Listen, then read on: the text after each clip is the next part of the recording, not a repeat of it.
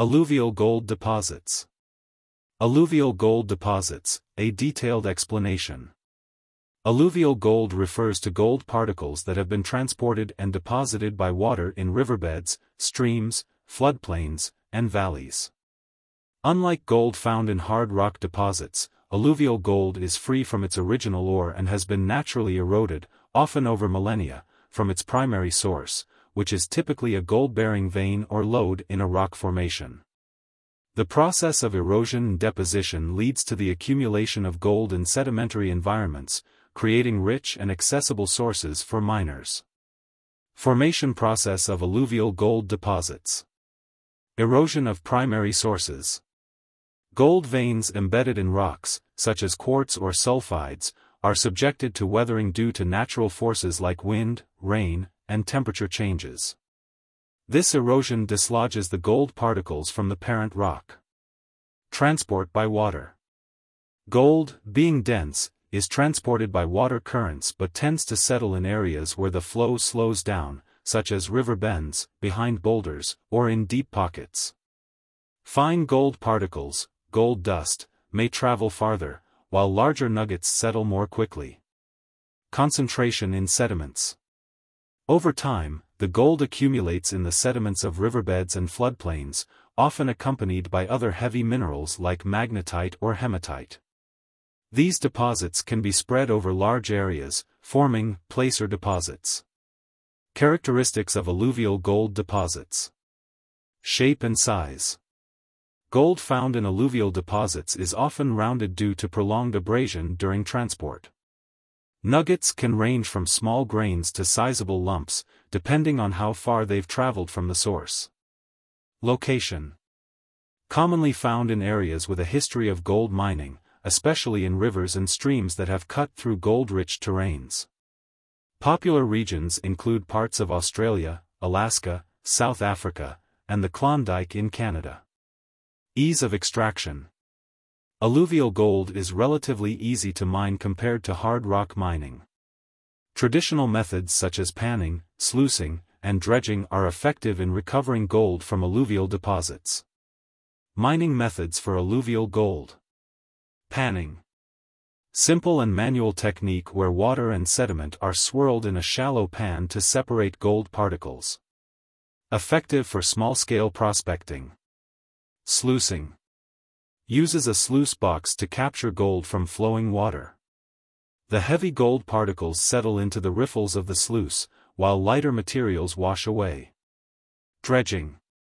A more modern and mechanized method using large floating dredges to extract gold from riverbeds. Suitable for larger operations. Metal detectors. Used for locating nuggets in shallower alluvial deposits. Environmental considerations. Mining alluvial gold can have environmental impacts, such as disruption of ecosystems, sedimentation in rivers, and pollution from mining chemicals.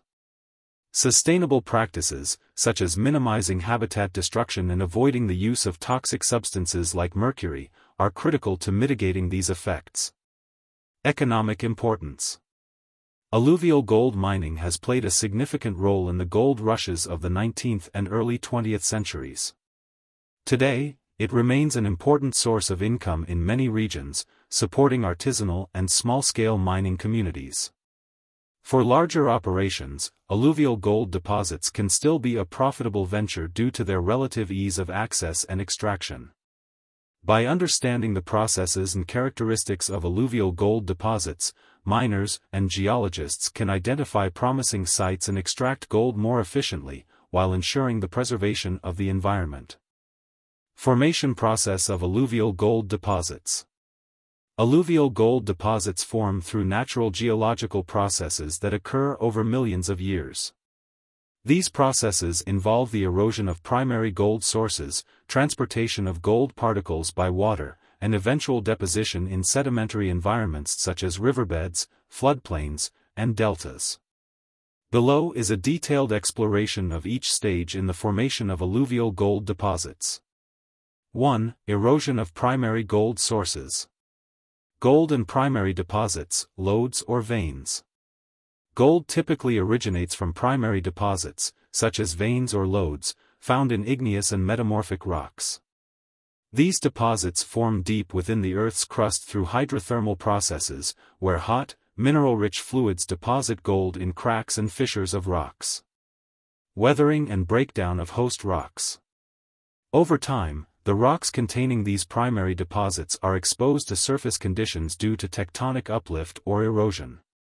Factors such as wind, rain, temperature fluctuations, and chemical weathering weaken the host rocks. Mechanical weathering, such as freeze-thaw cycles, causes rock fragmentation, while chemical processes like oxidation further break down minerals, releasing gold particles from the surrounding material. 2. Transport by water.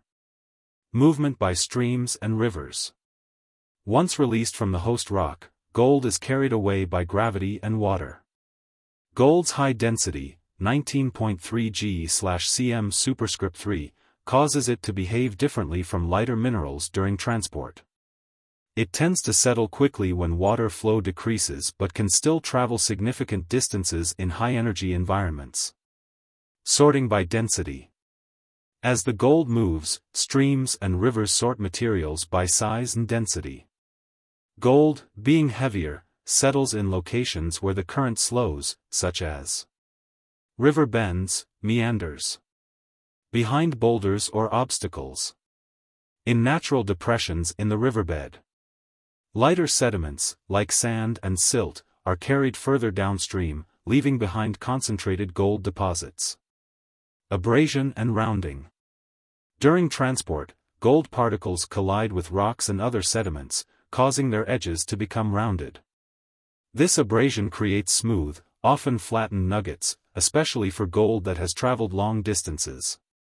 3. Deposition and concentration in sediments. Areas of deposition. Gold accumulates in specific sedimentary environments where the energy of the transporting water decreases significantly. These include gravel bars, formed when rivers slow down and drop their heaviest load. Floodplains, low-lying areas that capture gold during seasonal flooding. Deltas, where rivers meet still bodies of water, like lakes or oceans, and deposit their sediments. Natural traps. Features like bedrock cracks, crevices, and potholes act as natural traps for gold, capturing it as it settles. Over time, these traps can hold significant amounts of gold, especially in areas with prolonged deposition. Placer deposits. Over thousands to millions of years, these gold-rich sediments can accumulate to form placer deposits, which are the main targets for alluvial gold mining. Placer deposits are categorized into two types. Eluvial deposits, found near the source rock, with minimal transport. Alluvial deposits, formed farther downstream after extensive transport. 4. Secondary concentration by natural forces. Reworking of sediments. Over geological time, rivers and streams may change course, reworking older sediments and further concentrating the gold. For example, seasonal flooding can redistribute gold into new layers. Earthquakes and landslides may expose buried deposits, allowing water to reprocess them. Layering in deposits.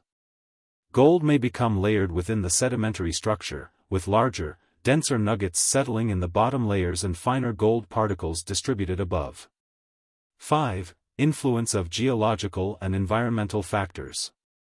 Tectonic activity. Uplift and subsidence caused by tectonic movements can create new pathways for rivers, exposing fresh gold-bearing rocks to erosion and forming new alluvial gold deposits. Climate. Regions with heavy rainfall and fast-flowing rivers are more likely to form extensive alluvial gold deposits, as water plays a key role in transporting and concentrating gold. Time. The formation of significant alluvial gold deposits requires millions of years, as it depends on continuous erosion, transport, and deposition processes.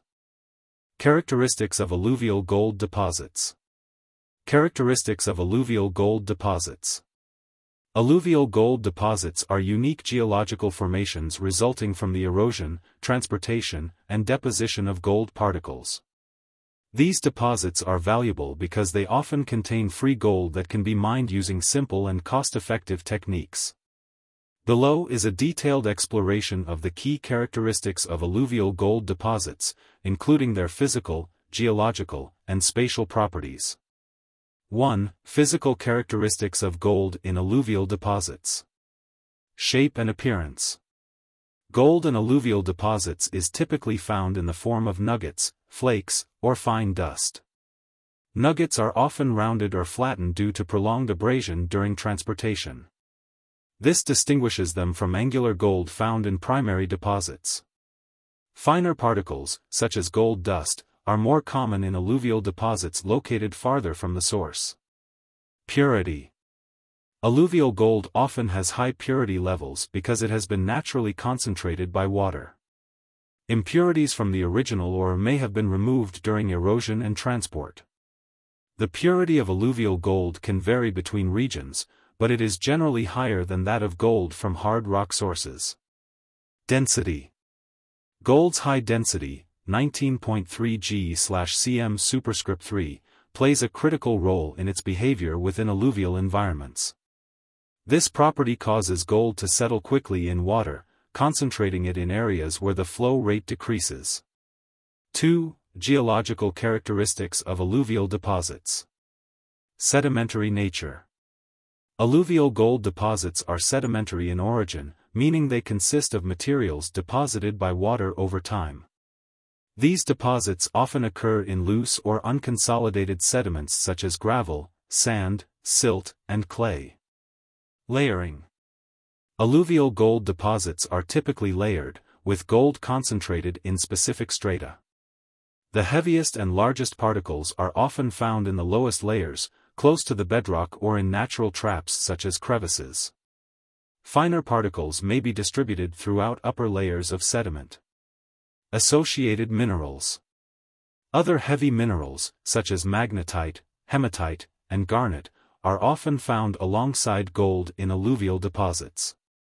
These minerals act as indicators for prospecting, as their presence suggests conditions favorable for gold concentration. Host environment Alluvial deposits are usually located in areas where water flow has slowed down enough for gold to settle, such as riverbeds and gravel bars, floodplains, natural depressions or potholes in bedrock, deltas and estuaries. 3. Spatial and geographic characteristics. Proximity to primary source. Alluvial gold deposits are often found downstream from their primary sources, which are gold-bearing lodes or veins in hard rock formations. The distance from the source influences the size and shape of the gold particles. Near the source, coarse, angular nuggets. Farther downstream, rounded, smaller particles and gold dust.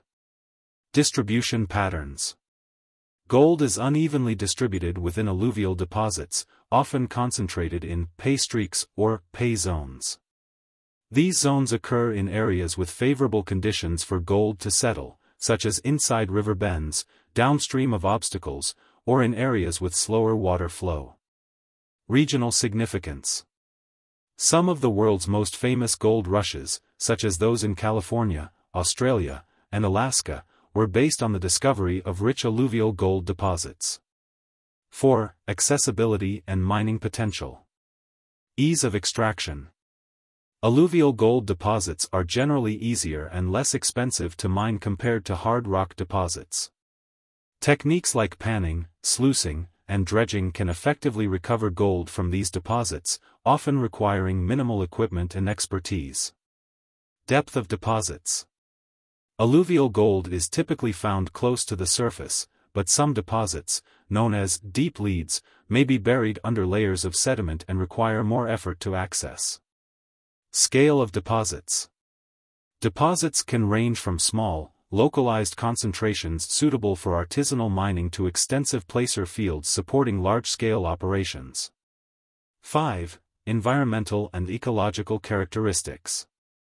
Dynamic nature Alluvial deposits are dynamic and may change over time due to natural processes such as river course changes, flooding, and sediment reworking. Impact of sediment composition.